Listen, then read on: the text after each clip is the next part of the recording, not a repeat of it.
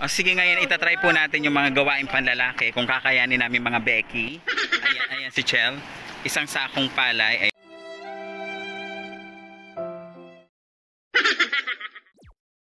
They ask you how you are, you just have to say that you're fine when you're not really fine, but you just can't get into it.